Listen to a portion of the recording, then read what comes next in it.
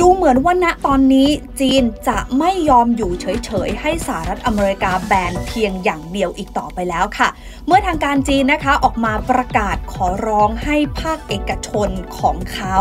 งดซื้อชิปของ NVIDIA หรือชิปที่มาจากสหรัฐอเมริกาค่ะ โดยมีรายละเอียดแบบนี้นะคะว่าสำนักข่าวบลูมเบิร์กเขารายงานว่าหน่วยงานกำกับดูแลของจีนออกมาเรียกร้องให้บริษัทต่างๆ ซื้อชิป H20 หรือ H20 ของ NVIDIA ซึ่งเป็นชิปที่ใช้พัฒนาโมเดลปัญญาประดิษฐ์หรือ AI แล้วหันมาซื้อชิปที่ผลิตในประเทศเป็นการทดแทนค่ะ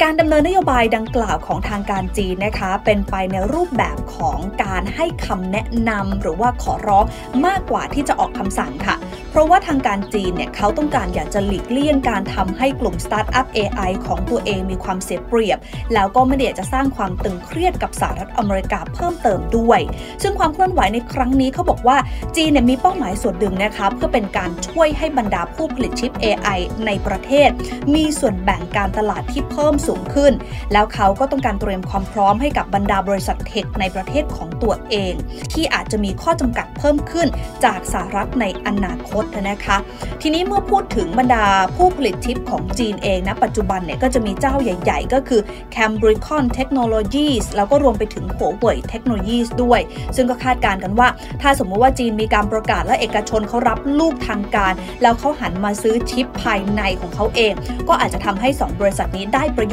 ขณะที่ความเคลื่อนไหวของหุ้นรายตัว พาไปดูอาลีบาบาค่ะ เปิดตลาดที่ระดับสูงสุดกว่า 100 ดอลลาร์เป็นครั้งแรกนับตั้งแต่เดือนสิงหาคมปีที่แล้ว ในการซื้อขายบนกระดานหุ้นสหรัฐเมื่อวันศุกร์เช่นเดียวกับหุ้น Tencent บริษัทผู้ให้บริการแอปส่งข้อความ WeChat ที่ใหญ่ที่สุดของจีน และบริษัทเกมที่ใหญ่ที่สุดในโลก ก็ปิดตลาดพุ่งสูงสุดในรอบกว่า 2 ปี ส่วนหุ้นเหมยถวนะคะ ยักษ์ใหญ่ด้านบริการส่งอาหารปิดพุ่งขึ้นร้อยละ 8 มาสู่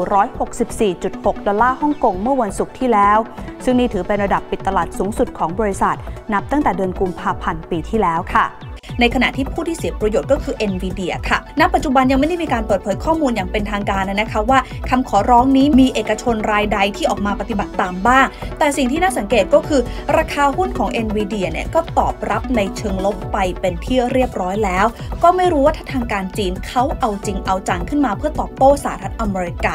มันจะส่งผลกระทบต่อสหรัฐอเมริกากลับไปมากน้อยแค่ไหนก็ถือว่าเป็นอีกหนึ่งเรื่องที่น่าติดตาม